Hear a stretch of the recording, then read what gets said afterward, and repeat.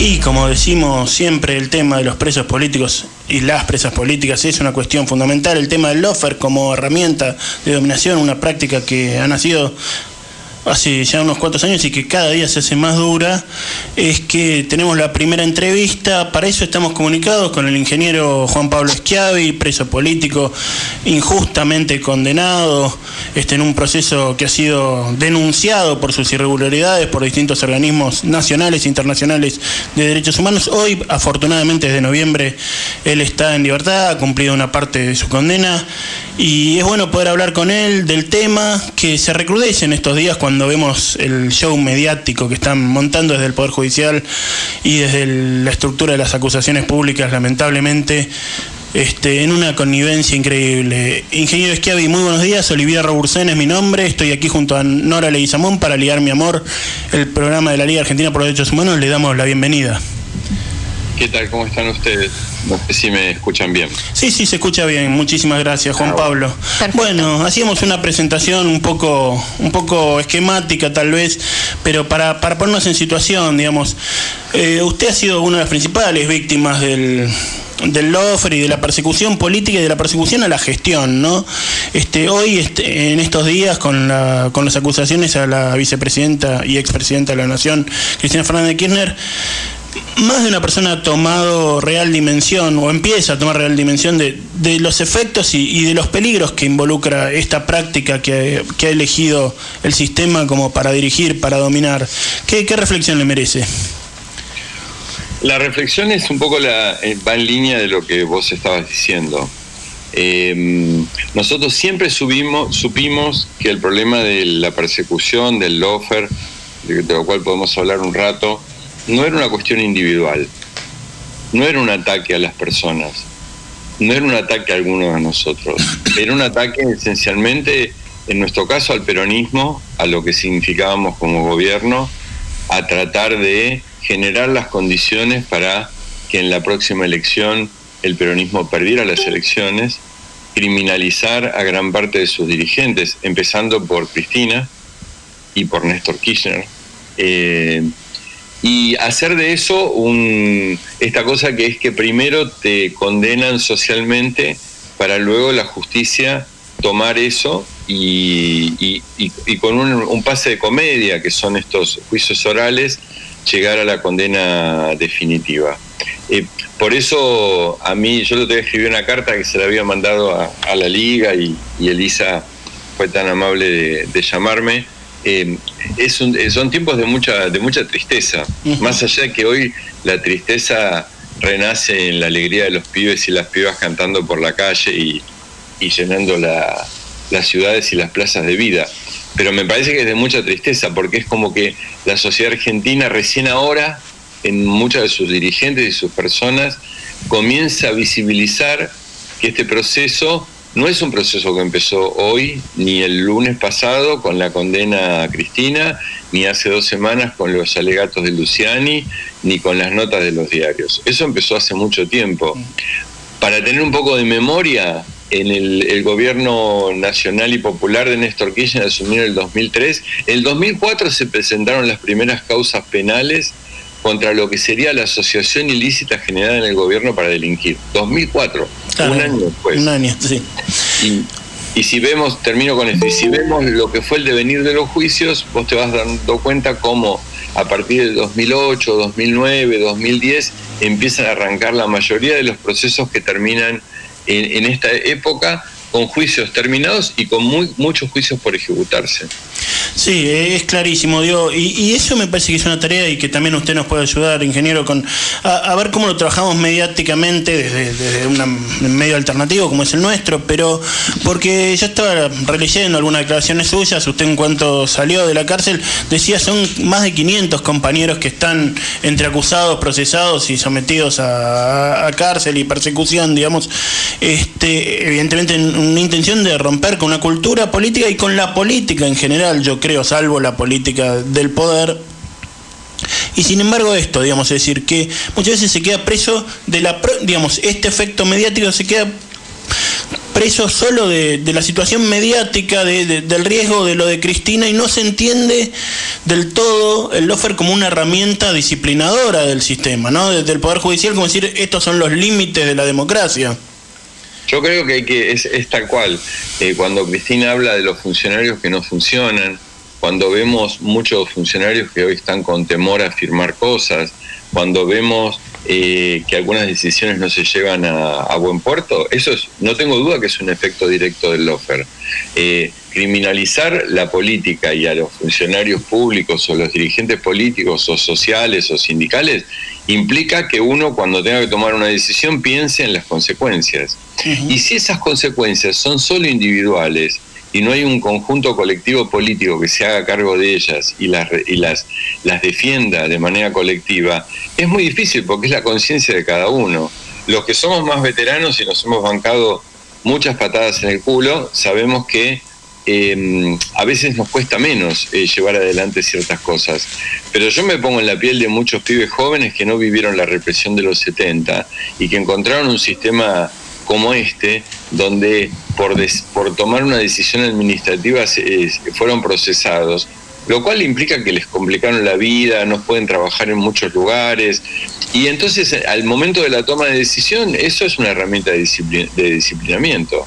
El tema que, que hoy veamos cómo un fiscal de la nación hace un show mediático para, en, el, en un gobierno peronista, eh, acusar eh, con, eh, con, una figura que todos sabemos que es una figura inventada por la represión, que es la de la asociación ilícita, a quien es la vicepresidenta en ejercicio de la nación, es una cosa que pensábamos que nunca íbamos a vivir. A eso se llega por muchos errores que hemos cometido y por una perseverancia del sistema de dominación que va a ser de la justicia, ya lo tiene la justicia como un elemento de un elemento de trabajo y lo va a seguir perfeccionando. No han cambiado nada en este tiempo.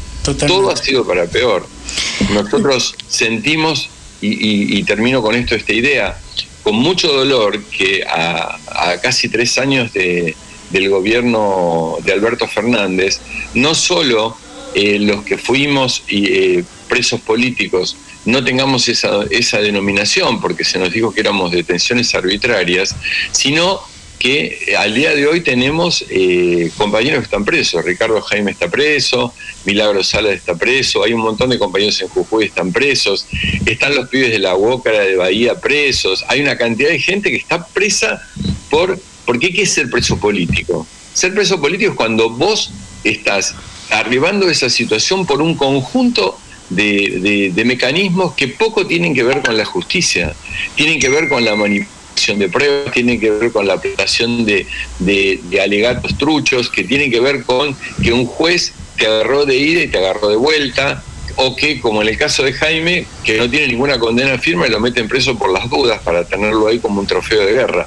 Entonces, yo creo que eso es una cosa, a mí me produce mucha tristeza, mucha bronca y me parece que es una debilidad y una deuda pendiente que tiene el, el gobierno nacional y que tiene todo el movimiento nacional y popular. ¿no? Sí, eh, como bien dijiste, mm, está Milagro presa, tenemos a Javier Nievas presa, a Javier preso, a Ricardo Jaime, y también tenemos a muchos compañeros dentro del territorio que están siendo encarcelados por diferentes motivos. Por ejemplo, Mega Minerías también son presos políticos porque les están armando causas cuando se cortan las rutas. Eh, hay, hay personas que estuvieron hasta un año presos para después decir, no, no era él, era toda una mentira. Eso también son presos políticos políticos. Yo creo que hay que empezar a contabilizar también eso, tenemos que entrelazar todo esto, porque en realidad hay una connivencia entre el Estado y eh, obviamente las grandes empresas. Y mm, para, para irte, eh, te quería hacer una consulta. Eh, ¿cómo, mm, ¿cómo, ves vos? ¿Cómo crees que puede, vamos a hacer un poquito, ¿cómo, ¿cuál pensás va a ser la jugada ahora? Yo creo que ellos eh, eh, eh, hay una herramienta política nueva que, como en algún momento fue la criminalización de la política, lo vemos hoy en la puerta de la casa de Cristina. Hay tres, tres celulares, una, un camión de detención y está todo lleno de vallas. En un lugar donde vos podés decir, en todo caso, si la gente molestaba la noche porque cantaban un poco, están cometiendo una, una contravención. Eso se resuelve de una manera mucho más simple, casi con policía de tránsito. Y han puesto un batallón en la puerta de la casa de Cristina. Y si eso no es criminalizar la política, no, yo no, nací ayer, digamos, no entendí lo que pasó.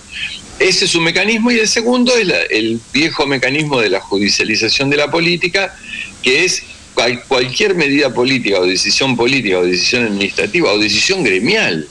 ¿sí? Acá ha habido, ha habido decisiones gremiales que implicaron que muchos dirigentes sindicales vayan en cana o direcciones o decisiones empresarias.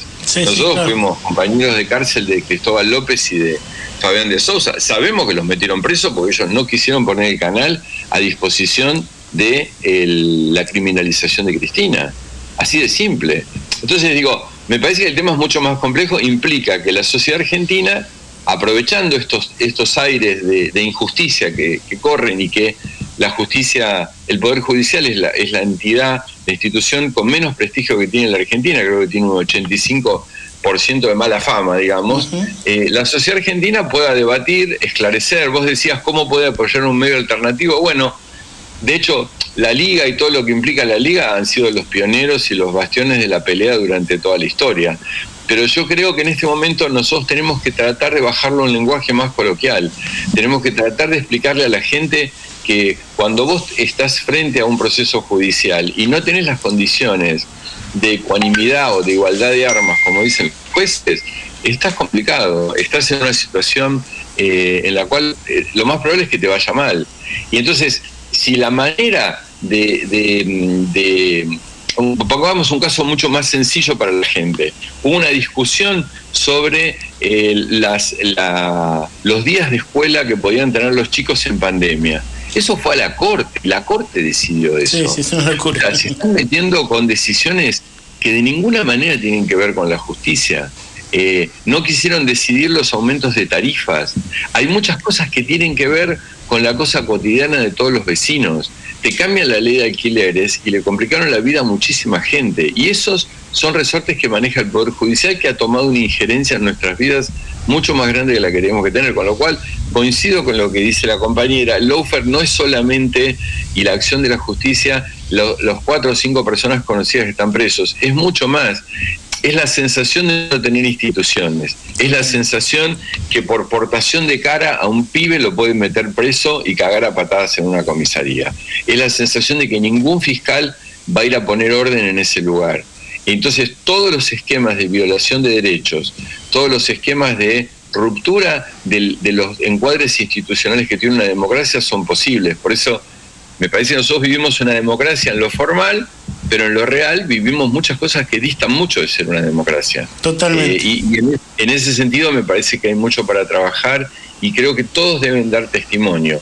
Los dirigentes que se callaron la boca durante todos los años cuando pasó esto, cuando muchos de nosotros estaban presos y nos miraban como bichos raros, eh, y que no sabía, y algo habrán hecho, pensaban como, como en la época de los militares, hoy deberían reflexionar y deberían ser ellos los primeros que ponen la carita ante los medios, ante la opinión pública y ante la gente, explicando que este problema es un problema que vino en la Argentina para quedarse y de alguna manera hay que sacarlo. Totalmente. Ingeniero Schiavi, le agradecemos mucho su participación en el programa. Seguramente lo contactaremos pronto. Muchísimas gracias por sus palabras y su tiempo y hasta la próxima. Bueno, y, por último, para terminar, agradecer en nombre mío de muchos de los eh, compañeros que estuvimos detenidos a, la liga, porque la liga ha sido como nuestra madre allá adentro. Así que siempre, siempre los, los llevamos en la memoria. Y muchas gracias por el, por el espacio.